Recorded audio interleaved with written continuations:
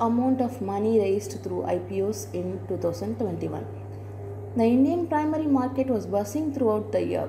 63 companies collectively raised 1,18,704 crore rupees through IPOs during 2021. New age technology brand like Paytm, Zomato, Nykaa and Policy Bazaar led a record of 1.2 lakh crore rupees mob up through IPO offerings. In India during 2021, even as the stock market key indices leaped to new high surging of COVID concern. 63 companies collectively raised 1,18,704 crore rupees. The previous best year for IPO was 2017 when 68,827 crore rupees was raised. In fact, the money raised in the primary market in 2021 is 62% more than the total amount of 73,003 crore rupees raised in preceding 3 years from 2018 to 2020.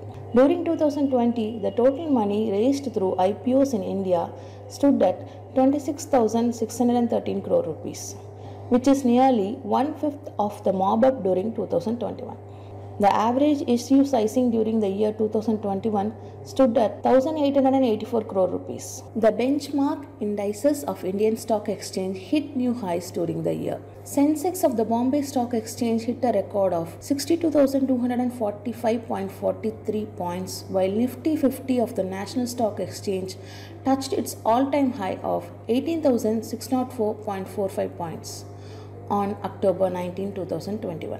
One 97 Communication, the parent company of digital payment platform Paytm, raised a whooping 18,300 crore rupees through IPO.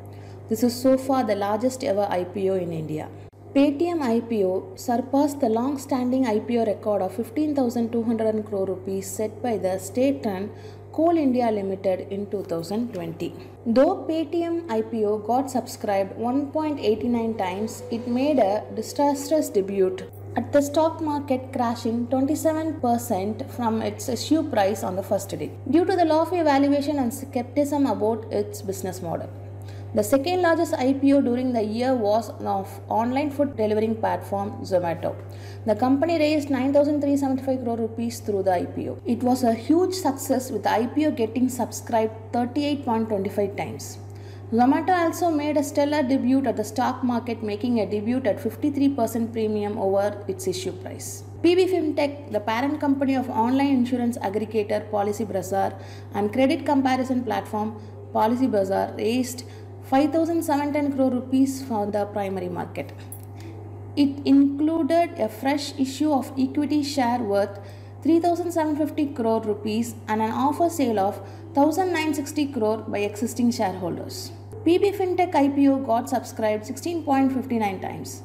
The company made its market debut at 17% premium over its issue price. FSN e-commerce venture, which operates online beauty e-commerce platform Nykaa, raised 5,352 crore rupees through IPO. Falguni Nayar company's IPO was a huge success. The IPO got subscribed 81.78 times. It also made a strong debut at stock market getting listed at 79% premium over its issue price. The first IPO of 2021 calendar year was of Indian Railway Finance Corporation Limited, a subsidiary of Indian Railways.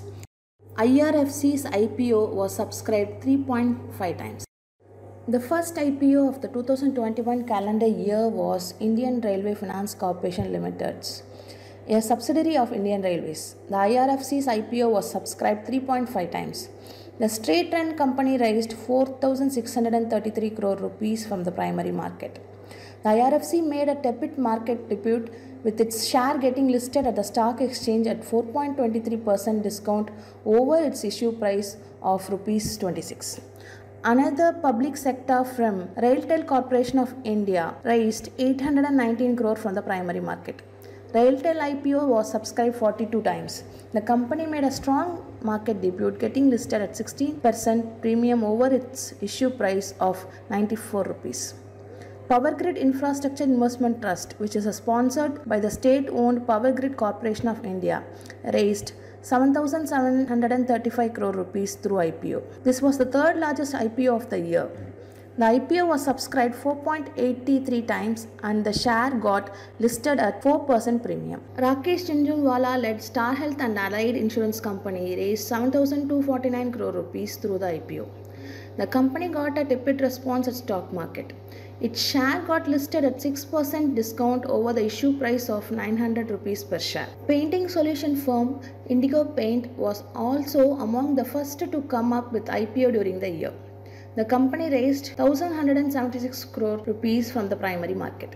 The IPO of the fifth largest firm in Indian decorative paint industry was subscribed 117 times. The company made a bumper market debut getting listed at 75% premium over its issue price of rupees 1490. Other prominent IPO of 2021 included MedPlus Health Services, Data Patterns, Home First Finance, Laxmi Organic, Barbecue Nation, Anupam Rasayan, Kalyan Jewellers, Brookfield India, REIT, Stove Kraft, Nureca and Heranba Industries. India's second largest pharmacy retailer MedPlus Health Services had an impressive IPO with the issue getting subscribed 52.59 times. The company made its stock market debut at 30% premium. The simplification of the rules by the Securities and Exchange Board of India SEBI has led to the record fundraising by the new age technology firms, which are almost loss making.